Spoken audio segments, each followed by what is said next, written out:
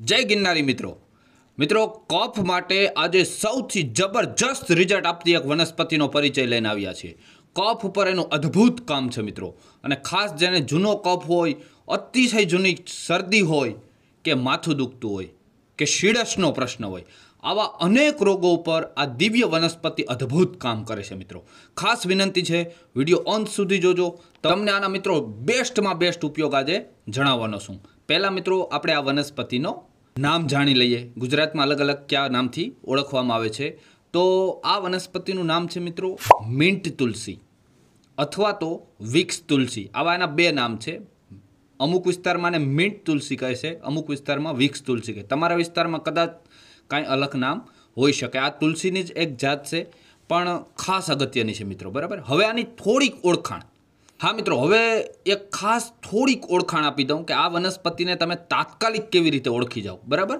તો પહેલું કે આ વનસ્પતિના પાન હોય ને, મિત્રો, એ તુલસી અને ફુદીનાના પાનને મળતા આવે છે થોડા, બરાબર? તુલસી અને ફુદીનો આ બંને વસ્તુ આપણે જોયેલી જ છે, એના પાનને આ મળતા આવે છે અને ખાસ આ પાનમાં નાના નાના ખાંચાઓ હોય છે. કોર ઉપર નાના નાના સૂક્ષ્મ ખાંચાઓ હોય છે, બરાબર? એ તમે નિરીક્ષણ કરજો, બરાબર? બીજું, મિત્રો, આની સૌથી મોટી ઓળખ કઈ છે, ખબર? કે આના પાન તમે મોઢામાં ચાવો ને, તો તમને એવો સ્વાદ આવે કે જાણે તમે વિક્સની ચોકલેટનો ખાતા હોય આપણે, અથવા વિક્સની ગોળી ખાઈએ ને આપણે, એના જેવો સ્વાદ જો તમને આ પાન મોઢામાં નાખો અને આવે, એટલે તમારે સમજી લેવાનું કે આ મીઠ તુલસી છે. બરાબર? આ સૌથી મોટી ઓળખ આની. ત્રીજું કે આના ફૂલ હોય ને એ નાના નાના અને સફેદ રંગના આવે છે, જે તમને વિડીયોમાં દેખાય છે. અને એ ડાળીની વચ્ચે આવે છે. બરાબર? ફૂલ ક્યાં આવે છે? ડાળીની વચ્ચે ફૂલ ખીલેલા જોવા મળે છે. આગળ કે આનો એક તમને માહિતી બીજી પણ આપી દો વધારાની, કે આનો તમે ઉખેડી અને એના કટકા વાવશો ને તો એ ઉગી જશે. બરાબર? અને નાના કોઈ પણ છોડ ગમે ત્યાંથી તમારે લઈ આવવાનો, એનો મૂળ સાથે લઈ આવવાની જરૂર નથી. એનો કટકો વાવશો ને તો પણ આ છોડ ઉગી જશે ઘરે. અને આ છોડને પાણીની મિત્રો બહુ જરૂર પડે છે. એટલે જ્યાં ભેજવાળી અતિશય જગ્યા હોય ને, ત્યાં તમે આ વધારે વાવશો ને તો એ પુષ્કળ ઉગશે. અને કુંડામાં ઘરે હું તો કહું વાવવી જ જોઈએ. આનો ઉપયોગ એટલા મસ્ત છે અને ઘરે ઘરે પણ થઈ જશે. મિત્રો, આજે તો નર્સરીઓમાં આ છોડ ઘણી ઘણી નર્સરીઓમાં મળે છે. બરાબર? તમે કહેશો કે ભાઈ અમારે મિન્ટ તુલસી જોઈએ તો તમને છોડ મળી જશે. બરાબર? સારું. હવે મિત્રો, સૌથી મહત્ત્વની બાબત છે આના ઉપયોગ. ઉપયોગ પણ જબરજસ્ત છે. એક પછી એક ઉપયોગ હું તમને જણાવવાનો છું. પહેલો ઉપયોગ આવે છે શીડસ ઉપર.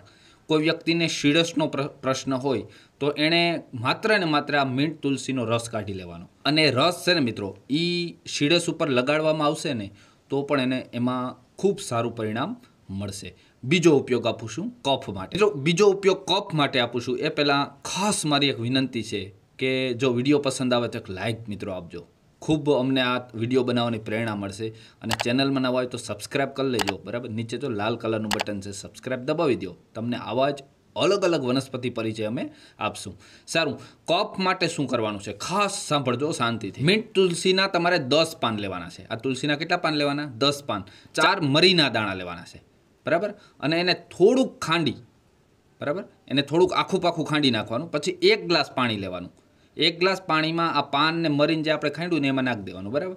પછી એને ઉકાળવાનું છે, ધીમા તાપે. અડધું પાણી બરી જાય એટલે નીચે ઉતાર લેવાનું. રેડી બે ચમચી રસ. નાનું બાળક હોય તો થોડું દેવાનું, બરાબર? મોટા માટે બે ચમચી રસ, બરાબર? તમારે દિવસમાં એકવાર પી જવાનું. અને આ ક્યારે કરવાનું? કે જ્યારે તમારા શરીરમાં કફ હોય ને ત્યારે જ આ પ્રોસેસ કરવાની છે. સામાન્ય દરરોજ આ રીતે કંઈ કરવાની જરૂર નથી. કફની, કફ હોય તમારા શરીરમાં, ત્યારે આ કરશો એટલે ખૂબ કફમાં રાહત થશે મિત્રો. બરાબર? જબરજસ્ત કફ, કફમાં રિઝલ્ટ મળે છે આનું. બીજું કે કોઈને શરદી હોય, બરાબર? અતિશય શરદી હોય તો તો શું કરવું? શરદીમાં તમારે અડધી ચમચી આનો રસ લઈ લેવાનો. કેટલો? અડધી ચમચી. અને એમાં અડધી ચમચી મધ નાખી દેવાનું. આ બંનેનું મિશ્રણ કરી અને તમે પીવું તો શરદીમાં પણ તમને સારામાં સારું રિઝલ્ટ મળશે. નાનું બાળક હોય, નાના બાળક ઉપર તો મિત્રો જબરજસ્ત આનું કામ છે. બરાબર? નાના બાળકને તમે આનો થોડોક રસ, થોડુંક મધ નાખીને પાસો. એક વર્ષ ઉપરના બાળકને આપી શકાય. બરાબર? એટલે એને પણ ખૂબ સારું રિઝલ્ટ મળે છે મિત્રો. સારું. હવે અગત્યની વાત એ છે. કે જો જ્યારે એવી સિઝન હોય કે અત્યારે ભાઈ, અત્યારે લોકોને કફ વધારે છે વાયરલ ઇન્ફેક્શન વધારે છે, ત્યારે તમારે શું કરવાનું છે? દરરોજ આનું એક પાન સવારે ખાઈ જવાનું. બરાબર? દરરોજ સવારે તમે આનું એક પાન ખાઈ જાઓ તો તમને જે કફનો પ્રશ્ન થાય ને, એ કફનો પ્રશ્ન નહીં થાય. બરાબર? એટલે આ સમય પહેલાં તમારે, બરાબર? પાણી પેલા પાળ બાંધવી હોય ને તો દરરોજ સવારે તમારે આનું એક પાન ખાઈ જવાનું છે. આ પણ એક એનો ખૂબ સરસ મજાનો ઉપયોગ છે. હવે આવે છે આગળ એક એથી પણ બેસ્ટ ઉપાય એ છે માથું દુખવા ઉપર. કે કોઈ વ્યક્તિને અવારનવાર માથું ચડતું હોય અને એને દવા લેવી પડતી હોય, બરાબર? તો એના માટે પણ એક જબરજસ્ત છે કે તમારે શું કરો? આનો રસ કાઢી લેવાનો. બરાબર? આના પાંચ હાથ દસ પાન લઈ એનો રસ કાઢી અને રસ તમારે માથામાં ચોપડી દેવાનો છે, કપાળ ઉપર. બરાબર? માથાના ભાગ કપાળ ઉપર તમે રસ ચોપડશો થોડીક વાર તમે આરામ કરશો એટલે ઓટોમેટિક તમારું માથું ઉતરી જશે. એના ઉપર પણ ખૂબ સારું પરિણામ આપે છે મિત્રો. એટલે આ આના સામાન્ય નાના નાના ઘણા જ ઉપયોગ હતા અને આ છોડ એવો છે મિત્રો કે તમે તમારા બગીચામાં, તમે તમારા ઘરે કુંડામાં વાવશો તો તમને અવારનવાર આ ઉપયોગી થશે અને બાળકોનો આનો સ્વાદ પણ મજા આવશે. એક પાન બાળક ખાશે તો એને મજા એને એમ થાય કે ચોકલેટ જેવો સ્વાદ આવે છે મિત્રો. ખાસ વિનંતી છે, વિડીયોનો શેર કરજો જેથી કરીને ગુજરાતમાં કોઈ પણ વ્યક્તિને આનો લાભ મળે મિત્રો. ખૂબ ખૂબ ધન્યવાદ મિત્રો. જય જવાન, જય કિસાન, જય આયુર્વેદ